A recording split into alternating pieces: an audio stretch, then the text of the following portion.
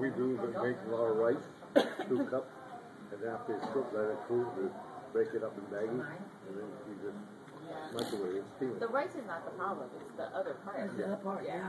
yeah.